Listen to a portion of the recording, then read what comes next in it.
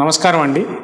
నా పేరు డాక్టర్ రజా ఎండి హోమియో గత పదమూడు సంవత్సరాలుగా నక్కల్ రోడ్ విజయవాడలో అన్ని దీర్ఘకాలిక వ్యాధులు మరియు స్వల్పకాలిక వ్యాధులకి అత్యాధునిక హోమియోపతి ట్రీట్మెంట్ ఇవ్వడం జరుగుతూ ఉందండి.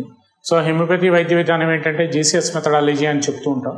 అంటే జెనటిక్ కాన్స్టిట్యూషనల్ సింలిమం అని చెప్తూ ఉంటామండి సో ఈ జీసీఎస్ మెథడాలజీ అంటే పేషెంట్ యొక్క వ్యాధి నిరోధక శక్తి ఏదైతే ఇమ్యూనిటీ తగ్గిందో అది తగ్గినప్పుడు అతను అది ఏదైనా సరే whatever the infection maybe అది వైరల్ ఇన్ఫెక్షన్ అయినా ఉండి బ్యాక్టీరియల్ ఇన్ఫెక్షన్ అయినా ఉండి అతను ఆ టైంలో ఎక్స్పోజ్ అయ్యే ఇన్ఫెక్షన్ బట్టి ఆ బాడీలో ఆ డిసీజ్ అనేది రావడం జరుగుతూ ఉంటుంది. సో ఏదైనా సరే ఇటువంటి ఇన్ఫెక్షన్స్కి మనం ఏదైనా సరే వాట్ ఎవర్ ద డిసీజ్ అంటే అది ఏ దీర్ఘకాలిక వ్యాధి అయినా స్వల్పకాలిక వ్యాధులు వ్యాధులు అయినా అవనివ్వండి సో మన హోమియోపతి ట్రీట్మెంట్ ద్వారా ఈ రెసిస్టెన్స్ పవర్ అంటే బాడీలో ఇమ్యూనిటీ ఇంప్రూవ్ చేయడానికి మనం హోమియోపతి ట్రీట్మెంట్ ఇస్తాం కాబట్టి సో దీన్ని మనం జీసీఎస్ మెథడాలజీ అని చెప్పదలుచుకున్నాం. సో ఈ మెయిన్గా మనం ఇప్పుడు ఈ వీడియోలో మనం డిస్కస్ చేయ చేయదలుచుకుంది ఏంటంటే హెచ్ఐవి అపోహలు అపోహలు భయాలు. అంటే దీంట్లో కూడా మెయిన్ ఏజ్ గ్రూప్ ఏంటంటే below thirty five years age group వాళ్ళు.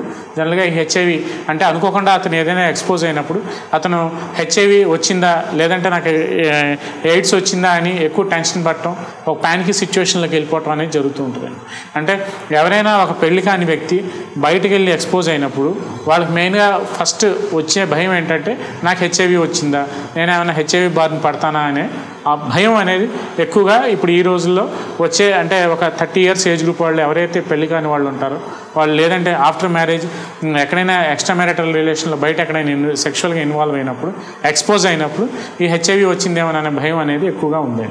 సో హెచ్ఐవి అనేది జనరల్గా ఎదుటి వ్యక్తి ఎక్స్పోజ్ అయిన వ్యక్తి దాన్ని బట్టి హెచ్ఐవి ట్రాన్స్మిట్ అవటం లే- అనేది ఉంటుందండి. సో ఈ హెచ్ఐవి అనేది ఎక్కువ అపోహలు భయాలు కూడా దీంట్లో మనకి జనరల్గా చూస్తూ ఉంటాం. సో హెచ్ఐవి అనేది బాడీలో ఇమ్యూనిటీ బట్టి అంటే అతను ఆ బాడీలో యొక్క వ్యాధి నిరోధక శక్తి బట్టి ఈ వైరస్ దాడి చేయడం అనేది జరుగుతూ ఉంటుందండి. సో కొంతమందిలో జనరల్గా కొంతమంది అడుగుతూ ఉంటారు. అంటే ఒక రూమ్లో నలుగురు ఐదుగురు ఉన్నాము. నలుగురు ఐదుగురు ఒక వ్యక్తిగా ఎక్స్పోజ్ అయ్యాము. ఒక అతనికి పాజిటివ్ వచ్చింది ఇంకొక అతనికి నెగిటివ్ వచ్చింది ఏంటి అని అడుగుతూ ఉంటారు. సో ఈ పాజిటివ్ నెగిటివ్ అనేది ఆ ఎక్స్పోజ్ అయిన వ్యక్తి బట్టి యొక్క ఇమ్యూనిటీ లెవెల్స్ అంటే పేషెంట్ ఆ వ్యక్తి యొక్క వ్యాధి నిరోధక శక్తి బట్టి బాడీలో ఉండే డిఫెన్స్ మెకానిజం బట్టి అది ఆ వైరస్ అనేది దాడి చేయటం లేదంటే అసలు దాడి చేయకపోవటం లేదంటే నెగిటివ్ రావటం అనేది జరుగుతూ ఉంటుందండి. సో ఇట్లాంటి వాళ్ళల్లో ఇట్లాంటి ఇట్లాంటి ఇండివిజువల్స్లో ఎక్కువ మెయిన్గా అపోహలు భయాలు ఏంటంటే ఇద్దరు ముగ్గురు ఉన్నాము కలిసి రూమ్లో లేదంటే ఒక అతనికి హెచ్ఐవి వచ్చింది ఇంకొకళ్ళకి కూడా వస్తుందా? అంటే ఏదైనా సరే నేను చెప్పినట్టు ఆ ఎక్స్పోజ్ అయిన వ్యక్తి యొక్క బాడీ ఇమ్యూనిటీ బట్టే ఉంటుంది. సో జనరల్గా ఇట్లాంటి అపోహలు ఇట్లాంటి భయాలు అనేవి జనరల్గా కామన్గా డే టు డే ప్రాక్టీస్లో క్లినికల్గా మనం చూస్తూ ఉంటాం. సో జనరల్గా దీంట్లో మనకి విండో పీరియడ్ అనేది థర్టీ టు సిక్స్టీ డేస్ అంటే టూ మంత్స్ లోపు మనకి విండో పీరియడ్ ఉంటుందండి. సో ఈ విండో పీరియడ్ లోపు అతను చాలా జాగ్రత్తగా అతను మళ్ళీ ఎక్కడ ఎక్స్పోజ్ అవ్వకుండా ఒకవేళ అతనికి వచ్చింది అనే భయం లేదంటే అతను కన్ఫర్మ్డ్గా హెచ్ఐవి ఎఫెక్ట్ అయింది అనే భయం ఉంటే అతను ఎక్కడే ఎక్స్పోజ్ అవ్వకుండా జాగ్రత్తగా ఉండటం అనేది చాలా సైలెంట్గా కామ్గా ఉండటం అనేది ఎంతైనా అవసరం.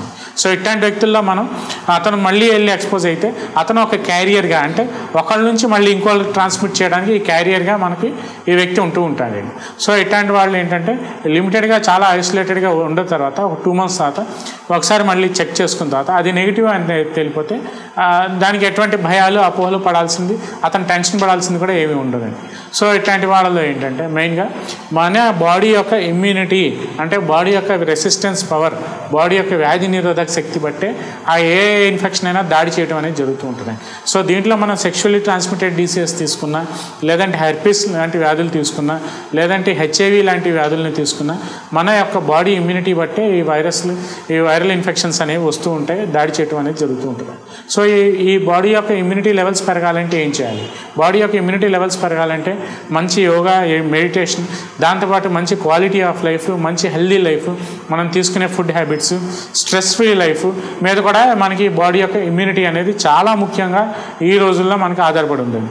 సో దీంట్లో మనం మన పాజిటివ్ ఎనర్జీ అంటే బాడీలో మనకి క్రియేట్ అయ్యే పాజిటివ్ ఎనర్జీ మనకు ఉండే హెల్దీ వైబ్రేషన్స్ బట్టే మనకి వైరల్ ఇన్ఫెక్షన్స్ బారిన పడకుండా మనల్ని మనం ప్రొటెక్ట్ చేసుకోవడానికి హండ్రెడ్ పర్సెంట్ ఛాన్స్ ఉంటుంది సో ఈ హోమియోపతి ట్రీట్మెంట్ ఏంటంటే మెయిన్ హోలియాస్టిక్ అప్రోచ్లో హోలియాస్టిక్ కాన్సెప్ట్లో ఏదైతే రెసిస్టెన్స్ పవర్ తగ్గిందో ఏదైతే ఇమ్యూనిటీ లెవెల్స్ తగ్గినాయో దాన్ని మనం ఇంప్రూవ్ చేయడానికి ట్రీట్మెంట్ ఇస్తున్నాం కాబట్టి సో అది ఎటువంటి దీర్ఘకాలిక వ్యాధి అయినా within a short period of time మన హోమియోపతి మెడిసిన్స్ ద్వారా మనం దాన్ని కంట్రోల్ చేయడానికి అయితే హండ్రెడ్ పర్సెంట్ ఆస్కారం ఉందండి.